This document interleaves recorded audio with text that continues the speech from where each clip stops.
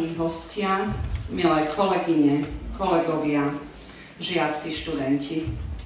Dovolte mi, aby som vás v mene oddelenia kultúry a športu pri Mestskom úrade v Tisovci, v mene miestneho odboru Matice Slovenskej v Tisovci, srdečne a úprimne privítala na dnešnom podujatí, ktoré je venované vzácnej osobnosti mesta Tisovec, významnej osobnosti slovenských národných dejín doktorovi Vladimirovi Klementisovi. V roku 2022 si pripomíname výročie jeho narodenia i výročie jeho úmrtia. Pripomíname si osobnosť, ktorá bola politikom, publicistom, spisovateľom, prekladateľom, právnikom. Jeho životom, prácou a činnosťou nás bude sprevádzať doktor Lukáš Perný, PhD, ktorý medzi nás prichádza zo Slovenského literárneho ústavu Matice Slovenskej. Srdečne vás vítam, pán doktor.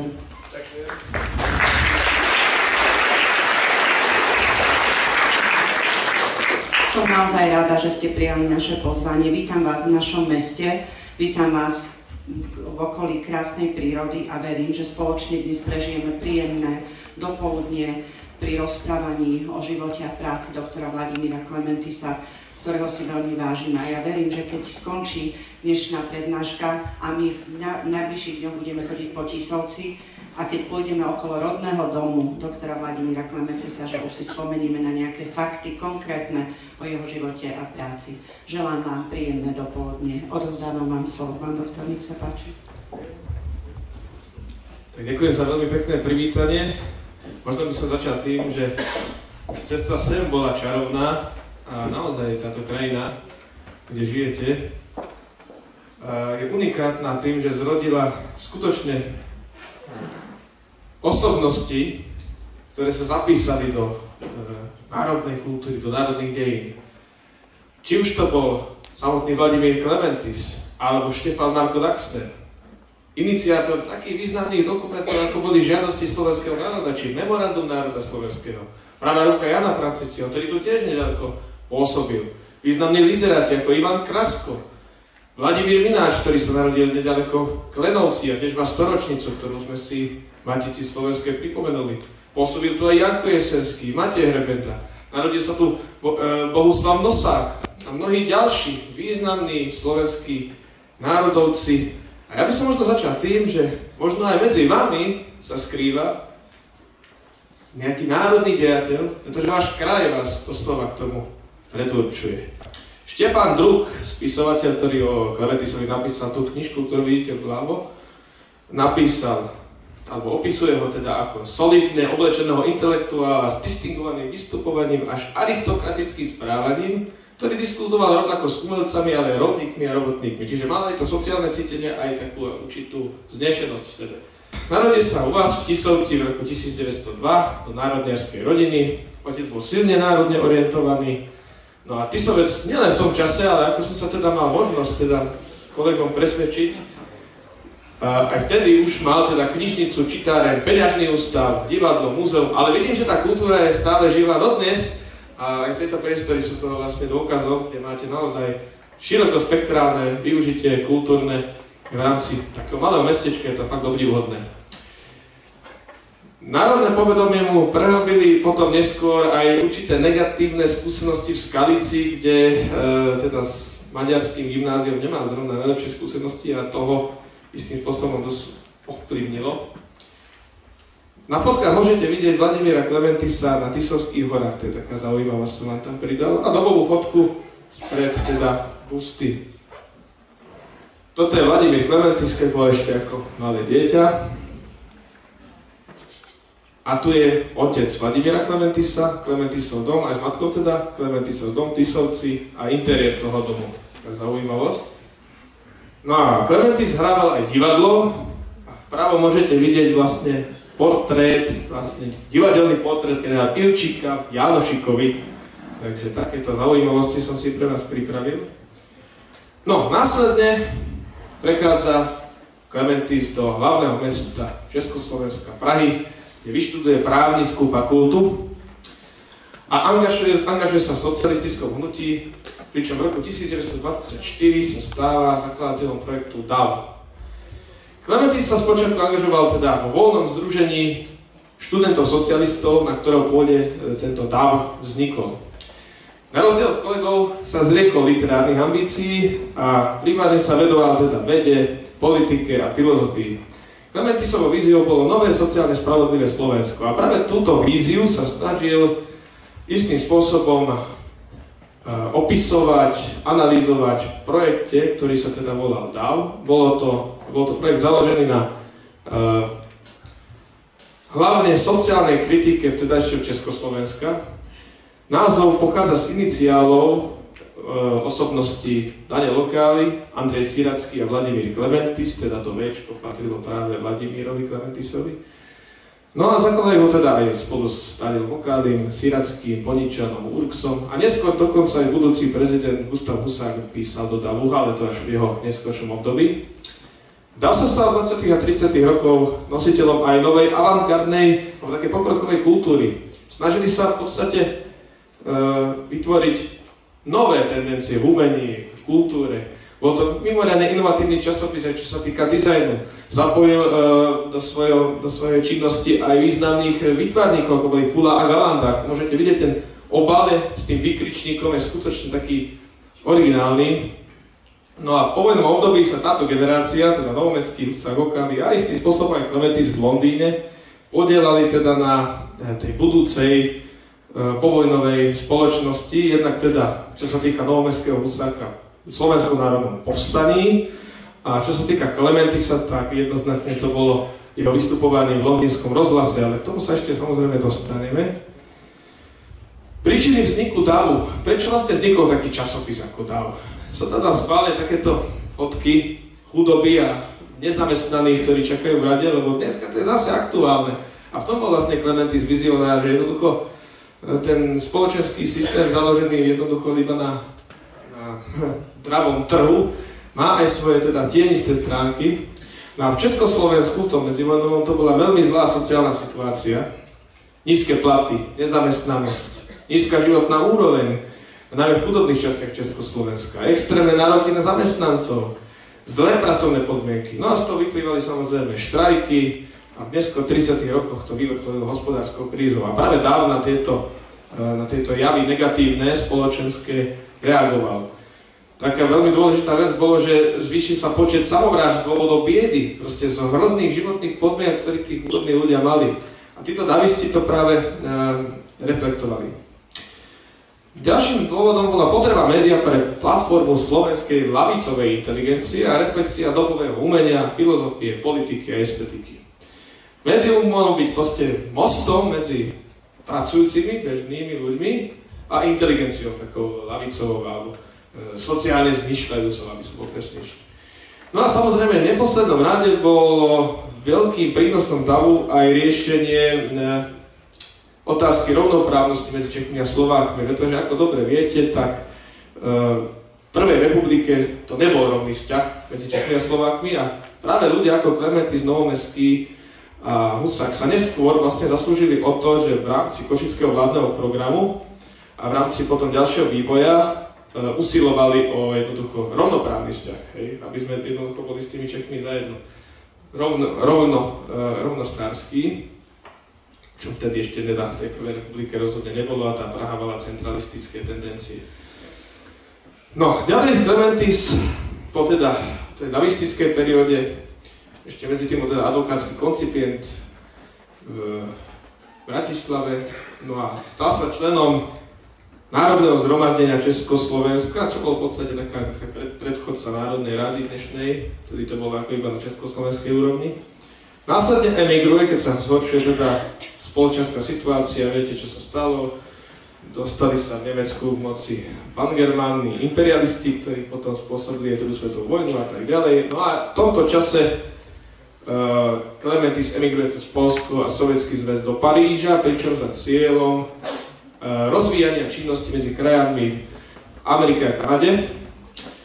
Paríž ho však vylúčili zo strany pre odmietnutie paktu Molotov-Ribbentrop. Tam ale treba dodať, že e, toto odmietnutie nebolo oficiálnym vyhlásením, bolo to medzi štyrmi očami, respektíve v internom, internej komunite lavičiarov vtedajších. No a istý pán, ktorý sa mal William Široký, teda budúci kat Vladimíra Klementisa, tieto veci začal na Klementisa vyťahovať a spôsobil mu teda veľmi veľké nepríjemnosti a potom v konečnom dôsledku neskôr aj jeden zo spoluviníkov teda jeho e, vraždy. V roku 1939 sa to Paríži tiež podiela s Hočom Osuským a Janom Paulinim Totom na memorande slovenských politikov o postavení Slovenska v budúcom štáte. A to priamo súvisí vlastne s tou československou otázkou, kde teda vlastne už túto Klementis tiež naznačoval v budúcom povojnovom usporiadaní rovný vzťah medzi Čechmi a Slovákmi. V tom istom čase je vo Francúzsku internovaný a pokračuje do jeho juho francúzského mesta Agde, kde sa pridáva k československým jednotkám. Jeho cesta pokračuje do Londýna. V rokoch 41 až 45 pôsobí pod pseudonymom Peter Hron a vysiela teda v londýnskom rozhlase. V roku 1945 sa stáva štátnym tajomníkom na ministerstve zahraničných vecí a po smrti Jana Masaryka sa stáva ministrom zahraničných vecí Zúčastňuje sa mierových rokovaní, čiže to je osobnosť, ktorá mala skutočne celosvetový e, dosah, naozaj chodil po najvýznamnejších konferenciách mierových. No a ďalší významný moment jeho života je podielanie sa na výmene obyvateľstva medzi Slovenskom a Maďarskom, ktorá bola v podstate súčasťou e, povojnového vývoja a e, vlastne plánu vtedajšej našej povojnovej vlády.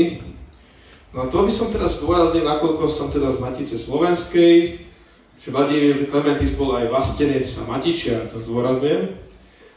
Ale ne, nebolo to takto hneď. On v podstate na počiatku svojej kariéry bol tvrdo antitradicionalistický a kritizoval akúsi provinčnosť alebo takú tú neotvorenosť Slovákov svetu. No neskôr sám nachádzal slovenských národných tradíciách určitú kontinuitu, určité pokrokové myšlienky, začal obdivovať slovenských básnikov. Čiže on sa k tomu postupne dostával. Takže od antitradicionalizmu, úplného až popierania tradície, k obno- znovu objaveniu tradície, aktualizácie tej tradície.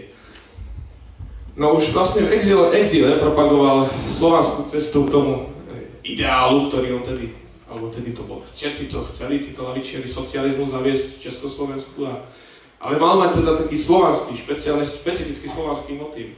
A ako vidíte vpravo, tá knižka Slovácia a Slovanstvo napríklad, a mnoho aj ďalších kníh, ktoré písal na túto tému, sa vyslovene zaoberajú teda tým slovenským rozmerom, slovanstvom. Okolárovi písal, hej, o našich národných dejateľoch, čiže naozaj to bol nielen lavičiar, ale aj vlastenec, na čo sa dneska zabúda, lebo je často interpretovaný len ako Európan. Ale on bol Európan, ale aj milovník všeslovanstva, takže to treba zdôrazniť. Prezident Československa budúci a Klementisov priateľ Husák zaradil Klementisa k zapadujúcim iskrám ľudského ducha a spolu s novomestským smrekom Výlednickým Jesvenským ho označil za avantgardného činiteľa, ktorý v kultúrnom, umeleckom či politickom zmysle formoval aj to socialistické hnutie. Politická a vojenská spolupráca Slovanov, ktorá sa dostala do popredia, popredia v druhej svetovej vojne, ovplyvňovala aj povojnový kultúrny vývoj a život na Slovensku. Už v júni 1945 Martine založil práve Klementis všeslovanský odbor a Matici Slovenskej sa vytvorilo slovanské oddelenie. Takže takéto zaujímavosti, že naozaj to nebol len lavičiar, ale aj veľmi silný národovec. No, v rámci ministerstv, pôsobenia na ministerstve ako diplomát Predstavte si, že už v roku 1938, to ešte vlastne, ešte dávno predtým, než neho bol diplomát na minister, sa stretol s Jahavaram Nehru a jeho dcerou Indirou Gandhiovou v 38. a v Bratislave, keď sa prejdete po Piezdostovom námestí, tam je obrovská tabula, kde je táto udalosť vlastne e, pripomenutá. Takže už predstavte si ešte, ešte v takomto skorom období už mal takéto významné, významné kontakty. Po francúzskom exíle riešil už spomínanú otázku slovenskej rovnoprávnosti, významne zasiahol do proslovanskej orientácie, vďaka vystupom v londýnskom rozhlase. A po vojne stáva sa najskôr tajomníkom, neskôr ministrom, kde ho nahrádza kresle Jana Masaryka. Stojí pri výmene obyvateľstve, obyvateľstvom medzi Československom a Maďarskom a zúčastňuje sa mierových konferencií a válneho zhromaždenia OSN. Takto ďaleko sa tento Tisovčan dostal. No ale v roku 1951 je zatknutý vo vykonštruovanom procese obvinenia z protištátnej konšpirácie a odsúdený naspäť a popravený 3. decembra. dostanem sa k tomu, prečo sa to stalo. V roku 63 je spolu ďalšími davistami a tzv. buržoáznymi nacionalistami, ako nazývali tedy národne orientovaných hlavičiarov, rehabilitovaný a v roku 1968 dostáva titul hrdina ČSSR, čiže od, od väzenia, smrti až k rehabilitácii a vyznamenaniu in memoriam hrdina Československa. Takže takýto, a čo vidíte vzadu, tak to je známa to fotografia, kde bol Klementis odstránený vlastne, vyretušovaný, tam, za, tam vzadu ho vidíte, vľavo, a tu na vpravo vidíte už tú fotografiu po úprave. Oni ho proste chceli úplne odstrániť z dejín tých 50 rokoch. No a čo bol tento proces s buržoáznymi nacionalistami? Vpravo môžete vidieť takou akoby karikatúru, ako vlastne tí buržoázni nacionalisti, vpravo úplne je Novomestský, potom je tam Okály a Spajkov je tam Klementis, ako prichádzajú e, do toho väzenia, hej, akože si z toho ešte akože robili srandu takýmto spôsobom. No, ne, Takto, išlo v podstate o vykonštruovaný proces, ktorý bol zasnovaný predovšetkým e, pražskými centralistami proti generácii týchto davistov a organizátorov SRP. Išlo o vyslovený mocenský boj a cieľom bolo vlastne zničiť túto povstaleckú generáciu slovenských intelektuálov a dosadenie k moci týchto technokratov, ako boli páni ako Široký a Vacírek. A napokon dokazuje to aj fakt, že práve William Široký vystriedal Vladimíra Klementisa na jeho teda stoličke ministerskej. Sekundárne to bola príčina zmeny geopolitického postavenia Sovjetského zväzu voči Izraelu. Československo dodávalo zbranie Izraelu v tom čase, ale bolo to v súlade s oficiálnou politikou tedajšej vlády. Avšak e, táto oficiálna politika sa zmenila po tom, čo sa zmenila oficiálna politika v Sovietskom zväze. Retroaktívne potom boli ľudia obviňovaní, aj Klementis teda, že sme podporovali Izrael. Izrael tiež zmenil orientáciu teda z, tej, toho, z toho socialistického vývoja na prozápadný, taký akoby e, kapitalistický. No a vlastne toto boli tie dôsledky, že Klementisovi to dávali za vinu. No a terciálna príčina bola samozrejme e, proslovanská orientácia tejto národnej inteligencie, ktorá bola v rámci akoby toho lavicového hnutia. Tých príčin bolo samozrejme veľa a keď si pozriete konferenciu z 50 rokov, o Vladimírovi Klementisovi, tak sú tam rôzni historici a, a nie, nie je úplne jednoznačná odpoveď, čo bol úplne presnou príčinou, ale je tam jednoznačne viac tých dôvodov, prečo bol Klementis e, v nemilosti vtedajších moci pánov. No a ako vyzerali tie obvinenia, hej, vykonštruované? Samozrejme oficiálne išlo vraj o vlasti zradu, vyzvedarstvo, sabotáž, vojenskú zradu a tak ďalej. No neoficiálne ho obviňovali z sionizmu, titoizmu, antisovietizmu, buržoázneho nacionalizmu. No a známy to diabolský, diabolský urválek, o ňom napísal, že je agent americkej, anglickej, francúzskej špionážnej služby, agent Beneša, nacionalista, nepriateľ ľudu, renegáda, tak toho obviňovali hej títo fanatici. No a kto ho obviňoval, no ja mám na to jednoznačnú odpoveď, ideologicky čekoslovakisticky orientovaní centralisti, pre ktorých boli Novomestský, Husák, Šmitke a ďalší, ideologickou hrozbou. Toto obvinenie mimochodom hrozilo aj ďalšiemu vášmu rodákovi, nedávno, no nepriamo rodákovi, ale z kraja rodákovi, Vladimirovi Mináčovi, ale aj Tatarkoviči, Aleksandrovi Matuškovi a Michalovi Chorvátovi. Tí nakoniec napokon e, obvinení neboli, ale hrozilo im to teda. No a ďalším dôvodom bola samozrejme konkurencia v mocenskom boji, pretože Široký zasadol práve na Klementisovú ministerskú stoličku. No ale vďaka Novomestskému, Dubčekovi a Husákovi bol nakoniec Vladimír Klementis rehabilitovaný, v 60. rokoch znova vychádzal dál, znova sa začínal Klementisovi hovoriť. No a tuto vám e, doplnil novomestského citát, ako to on hodnotil odvážne, teda musím povedať, v 60 rokoch, píše Bezohľadnej honbe za centralizovanou mocou, za jej pevnosťou neváhali jej predstavitelia zneužiť aj štátnu moc, ako aj bezpečnosť a súdy. A v umelo nastrojených procesoch odsudzovali pod rozličnými zámienkami na mnohoročné žaláre mnohých jej odporcov a ministra zahraničných vecí Vladimíra Klementisa dokonca na smrť. A tuto ešte som pridal jeden novomestského citát, ktorý je takým varovaním dejín. Je vlastne tento citát uh, uvedený v úvode takej veľmi peknej, elegantne urobenej knižky o Clementisovi a vystihuje v podstate úplne všetko. Po postava Klementy sa vysoko vyčnieva v našich stranických národných štátnych dejinách tohto storočia. Ako výstražné varovanie prečnieva do histórie revolučných hnutí vôbec. Celým svojim životom a prácou v ňom vyhýbal sa dogme. Až tak záverne a dôsledne, že sa nestačil vyhnúť dogmatikom. Tej zvláštnej sorte ľudí v revolučnom hnutí, ktorí tak horlivo vedeli vyznávať našu pravdu, že sa im stala dokáz- dokázanou nepravdou každá pravda iným a inak vyslovená.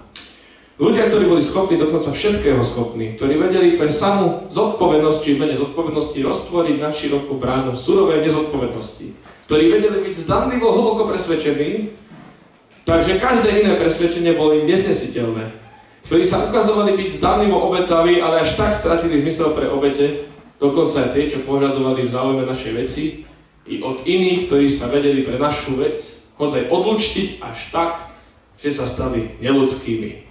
Pred nimi varuje Klementis svojou smrťou. Toto povedal národný umelec Vladislav Novomeský.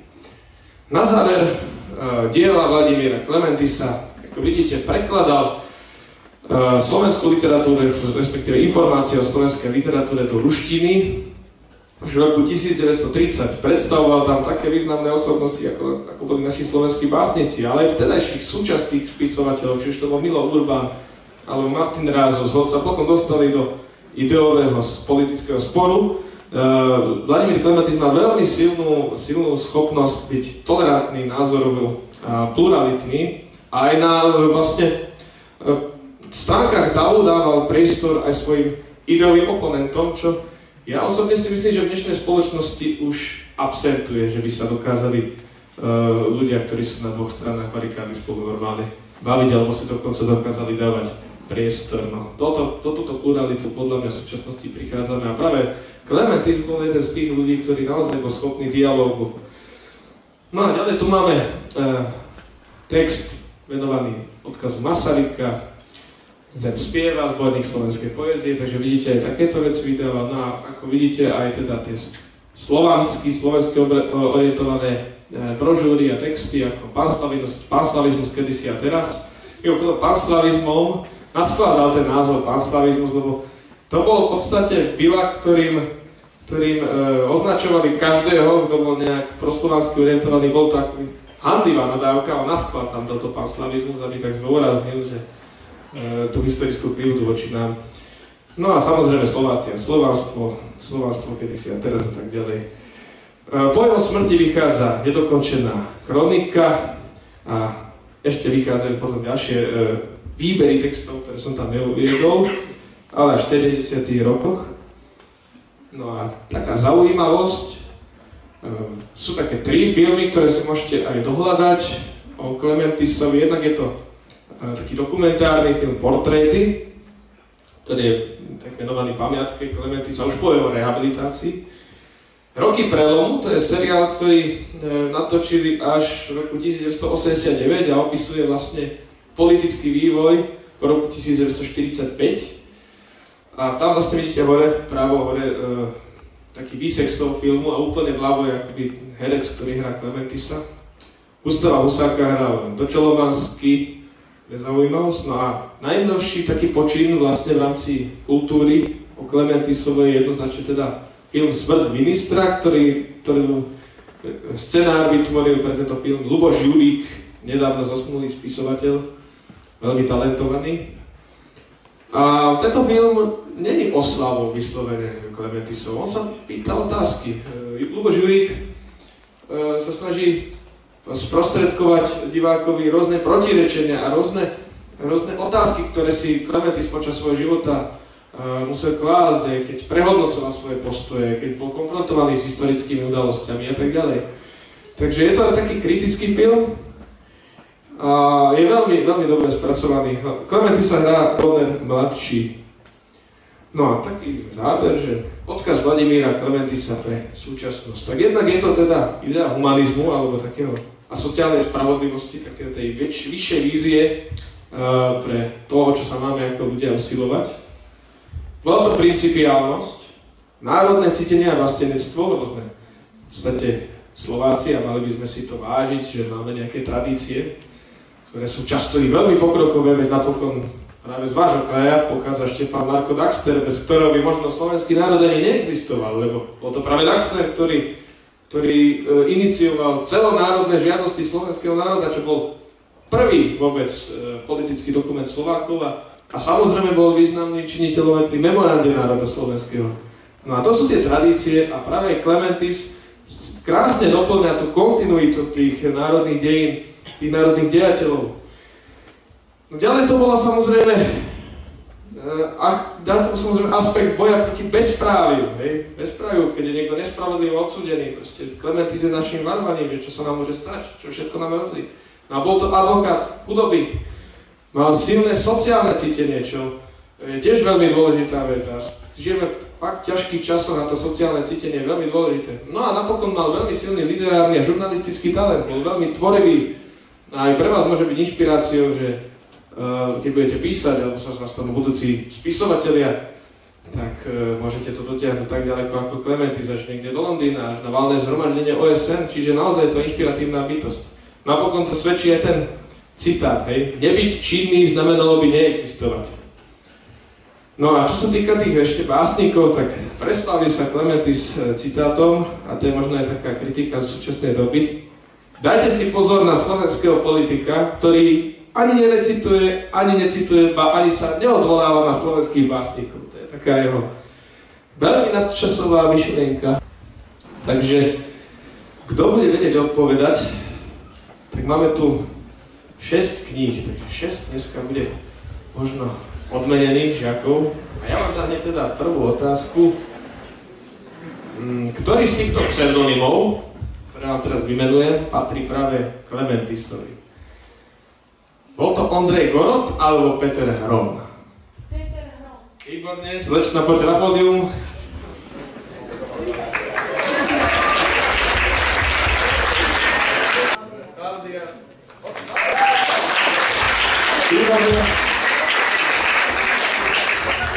No.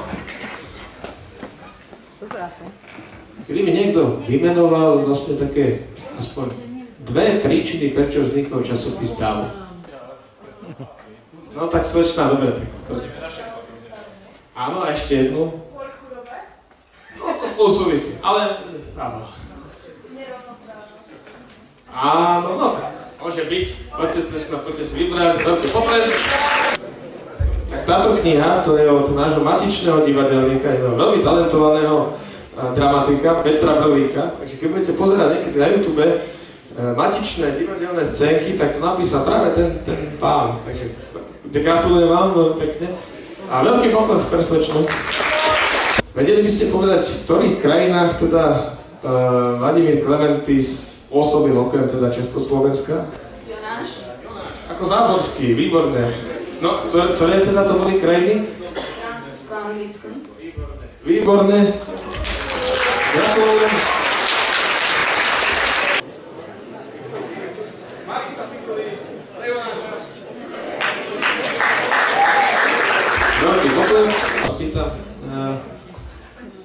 Čo sa podarilo eh, Vladimirovi Klementisovi v rámci jeho pôsobenia na ministerstve? Čo bol taká aspoň jedna významná udalosť, ktorá, ktorá sa zapísala do dejín?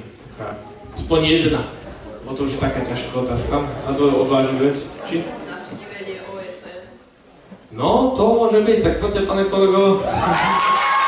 Potlesk. Timo. Timotej, veľký potlesk pre Timoteja.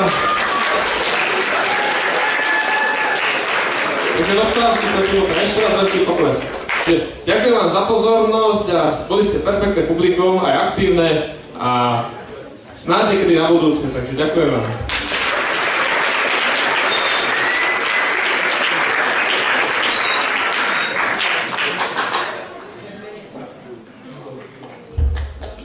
Mene organizátorov mi ešte dovolte, aby som vám všetkým poďakovala za to, že ste prijali naše pozvanie. Ďakujem vedeniu všetkých škôl, ktoré e, prišli e, na dnešnú prednášku. No a moje najväčšie poďakovanie samozrejme patrí pánovi doktorovi za to, že prijal pozvanie, za to, že nás previedol cestou života a práce doktora Vladimíra Klementisa, ktorý teda pochádza z nášho mesta. Verím, že toto stretnutie nebolo posledné. Ďakujem vám a želám vám všetko dobré. Príjmite od nás takú malú pozornosť.